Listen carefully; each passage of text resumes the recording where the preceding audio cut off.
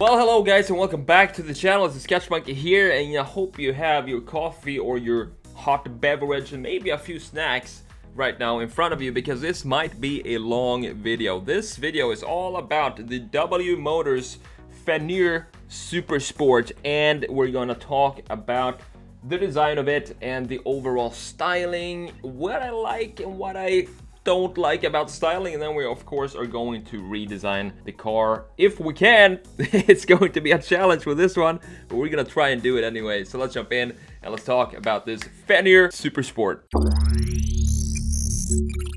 First of all, let's cover some background of this W Motors company and the models that they have currently produced. It was founded in 2012, being the first developer of high-performance luxury sports cars that were based in the Middle East. It's based in Dubai. The company does everything in-house, including design, research and development, and even manufacturing of their own cars. W Motors also performs automotive consultancy within its special project operations division. In addition to developing its own supercars, W Motors developed the first vehicle for China-based sister company ICONIQ Motors and this was done with the ICONIQ 7 which is a fully electric multi-purpose vehicle. Looking at the ICONIQ 7 design you can definitely see W Motors involvement and style with the sharp angular almost over-styling cues and graphic layout, of course, of the front and rear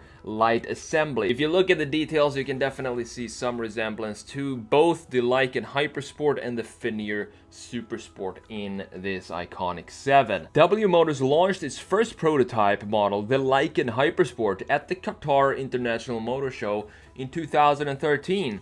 Shortly thereafter, the company moved its headquarters to Dubai. Another big step for the company happened in 2013 when Universal Studios ordered 12 Lykan Hypersport stunt cars, 12 of them, to appear in the film Furious 7. One of them can be viewed right now at the W Motors Gallery in Dubai. It is the most expensive car ever featured in the Fast and Furious films, though the vehicles seen on the screen were obviously not the real 3.3.5 million dollar cars, these were drivable stunt models rather than the production vehicles. The Lykan Hypersport's first pre-production model was introduced at the Dubai International Motor Show on October 5th of 2013. The production-ready model of this Lykan Hypersport officially went on sale about a year later in December of 2014. It was limited to only 7 units. The Hypersport was priced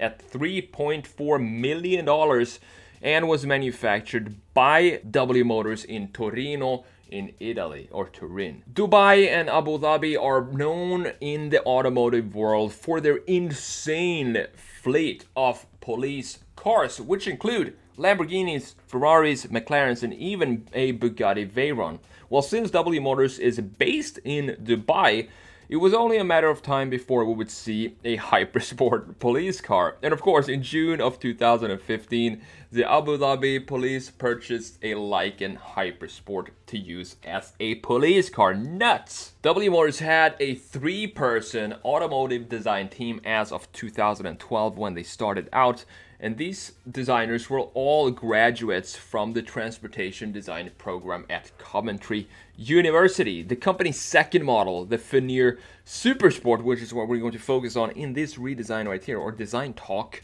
was introduced in November of 2015. The company claims that they have sold all seven of the Lykan Hypersport units and has confirmed that the 10 Fenyr Supersport Launch Editions series has also sold out. So these are the two kind of main models of uh, the W Motors company or brand. You have the Lykan Hypersport, the first one, which is powered by a flat 6 3.7 liter twin turbo mid engine developing 780 horsepower and 708 pound-feet of torque and with a 0 to 60 time of just 2.8 seconds with a top speed of 251 miles per hour. It features a holographic display and the LED headlights are made of titanium blades encrusted with diamonds in the front and in the rear you have sapphires integrated in the taillights.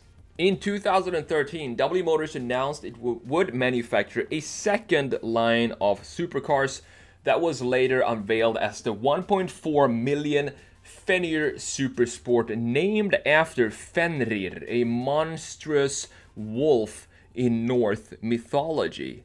The Fenyr was limited to 110 units total and was intended to be a high performance sports car with more discreet luxury details compared to the first Lykan Hypersport. Not so sure about the discreteness of this design though. The Fenyr Supersport features a 4 liter twin turbo flat 6 with 900 horsepower and 811 pound-feet of torque. And the 0 to 60 time here is 2.7 seconds with a top speed of 249 miles per hour and a curb weight of approximately 1200 kilos, kilos or 2600 pounds. It was unveiled at the 2015 Dubai International Motor Show on November 29th of two, 2017 with the opening of the new W Motors gallery in Dubai the production version of the Fenyr Supersport was revealed with quite many changes from the concept version. So these are the two main models that we that everybody pretty much knows of when it comes to the W Motors, but they also made a one-off car called the Ghiath by the Special Project Division of W Motors. And this was a prototype police vehicle for the D Dubai government, originally we were referred to as Beast Patrol.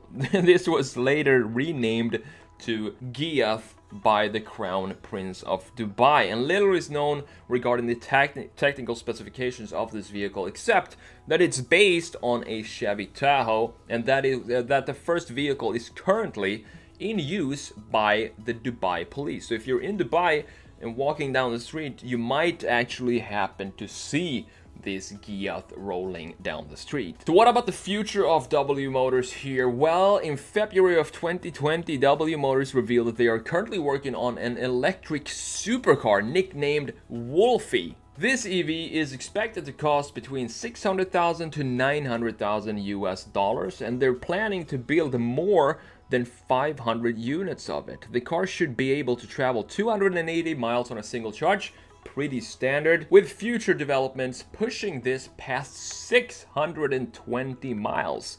The car will be powered by four electric motors producing a total of 1600 horsepower, launching this car from 0 to 60 in less than 2 seconds. The car will be fully developed and produced in the United Arab Emirates at W Motors factory and will be ready as a pre-production car by the end of 2020 with production launch in early 2021. And now with that said, with the background of W Motors for you who don't know what this car is or the company behind it, let's jump in now and talk about the design. I'm going to sketch up all the things that I think are kind of off with this design. There is a major, major issue with it that I'm gonna cover first. So let's jump into Photoshop now and let's talk about the Fenyr Super Sport. So here we have it, the, the Fenyr Super Sport in a slight front view. So to put it mildly, if I were to be nice about this car, I would say I'm not a fan. If I were to be completely honest with you, I would call it grotesque. And the reason for that is that the fundamental issue with this car is not really something that is fixable with a quick fix. It's about the proportions of the car. And on top of that, you have this insane styling that looks like it was done by a first year transportation design student trying to figure out alias. For example, there are so many lines here that I don't even know where to start, honestly. It gives me a headache just looking at this car. And we have this line right here that is the fender that just abruptly stops here and then it goes into a new new type of chamfer here on a different piece and this creates this feeling that it was designed and built by taking stuff, bunch of different random things from different cars, and just trying to assemble it and making it look like some sort of unified design. But what this fundamentally feels like to me is it feels like a kit car. It feels like it's been built, th that it's something else underneath and some amateur has taken, taken that car and tried to come up with their own design on top of that car. That's just my thoughts on it. It's not the most positive things I have to say about this, but if I'm honest, that's just the way I feel about this car. And then we have all these sharp angles here. We have, for example, here, straight lines everywhere in combination with some interesting curvatures here, for example. And then you have this curvature here that has, it's not, it doesn't know if you want to be straight or if you want to have a curvature to it like that. So we kind of have to guess what the designer's intent were with this part right here. You can see that it, it does have a slight curve to it, but it's barely visible. And you also have a very, very thick C-pillar here. I admire the effort of W Motors to come up with these cars pretty quickly from found, being founded in 2012 and then releasing their first model in 2013 but it feels as if they rushed the design process of this car and there is so much to talk about here that you know let's just take this tiny detail here for example you have this interesting shape that goes like this of the front uh, bumper I guess we call it. You can see that it goes here. And it doesn't line up with this piece down here. You see that these are off offset here. I know these are tiny details that probably no one or the majority would not even think about. But when you put all of these small details together and make everything and put put them all on one single car it all adds up. And you can find these kind of weird things in this car all over this design. You also have a chamfer here for some reason. They just decided to cut this in half and make that a chamfer. And also you have this line right here that completely makes it look like the rear is about to be detached or is kind of a weak part of the car that it's about to break from the rest of the body of the car. So let's have a look at the side view here just to keep going. The side view is where you look at the car if you want to have a look at the proportions of it. So the thing here, it look. I mean, if we take away all the styling features, it looks a lot like an Aventador, uh, a Lamborghini Aventador, and that's not a bad thing. But then you add this this over styled you know body of this car and it becomes a mess. Just look at this tiny detail here. If we zoom in on this part it, there are just too many lines that goes in one direction. Another thing i talk about in my videos is line flow and i think this car is the car that that lacks line flow the most of any car I've ever seen before and it just doesn't have to be like that because it's a two-door sports car and two-door sports car are, cars are pretty easy to make beautiful looking even if they're mid-engine cars. You also have these huge fenders both front and rear and it makes it look almost cartoonish in its proportions. I think this this fender right here, the front fender, it needs to come down just a little bit. So let's see what would happen if we do that real quick here. So that was just a tiny change of the front of the car. So this is the result when we just lower that big front fender just a tiny bit with maybe one inch or something like that. And this is what happens right here. You can see the difference when I'm toggling back and forth here. And it makes it look a little bit less like a Hot Wheels and more like a proper sports car. Let's quickly just go over the rear as well. And it doesn't really get a lot better in the rear. I don't know what's going on here because there is so much going on that I'm I don't really know what the intention was from the designers here. We have these panels that kind of just ends abruptly here and doesn't continue or you know connect to anything down at the bottom of the car then we have this massive diffuser that as you can see in the side view sticks out and creates the the the furthest end point of the car. So that basically becomes the bumper and that is this part right here. However i do like the graphics of the rear lights of this uh, Fenyr Supersport better than the Lykan Hypersport. I think this is a little bit more stylish and it does have some uh, dynamic feeling to it because you have different width of the headlight itself so it kind of goes from narrow here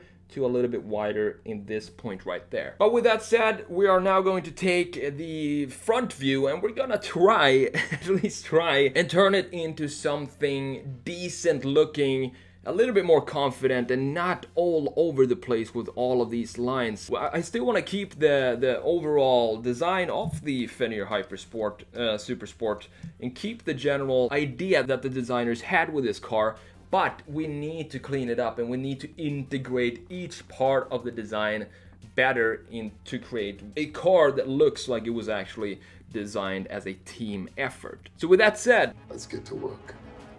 Alright, so here we are of course inside of Photoshop. To me, it feels as if it's a mix of a lot of different styles all blended into one single car. So what I want to do is I want to go with one of these styles and I'm going to go with the sharp parallel line style that we have and remove these kind of weird curvatures that are specifically visible in the side of the car right in front of the air intake and also the lower part of the car. If you compare that to the front bumper, it's like two totally different styles.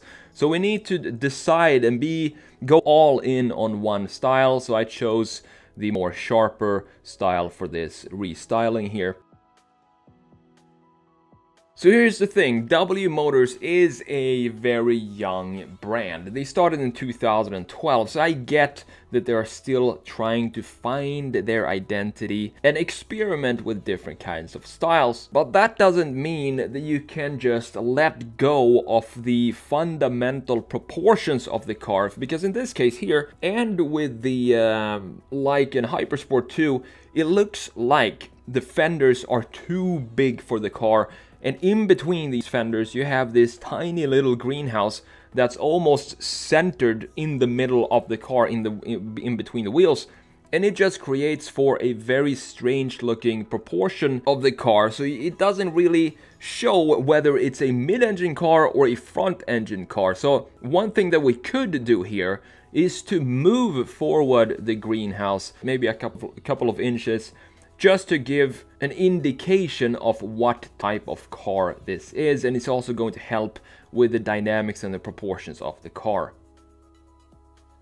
So I want to try and respect the original design here and not come up with something like a uh, Fenyr Super Sport 2.0. I want to respect the original design, but the biggest issue here is to try to connect all of these lines that we have all around the car and at least have a couple of lines that we can follow around the car that ties everything together.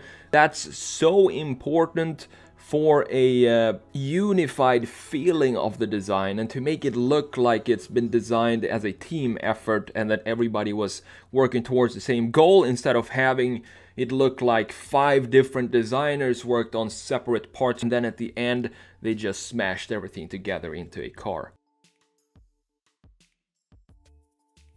What I'm really excited to see is this uh, 1600 horsepower electric car that they're working on at the moment that will uh, hopefully be released in 2021. We don't know now if it's going to be delayed. I have a feeling it will be, but that is a car that I'm really looking forward to. It's going to, going to have four electric motors with a total of 1600 horsepower and a 0 to 60 time in 1.9 seconds. It sounds to me like this could be a Tesla Roadster competitor. So looking at this now, I just want to quickly show you that what kind of flow we created now compared to the original one. And it just feels like a more confident design when you have a couple of lines like this. It doesn't really need a lot of changes. It's just small details that always make a big difference in cases like this.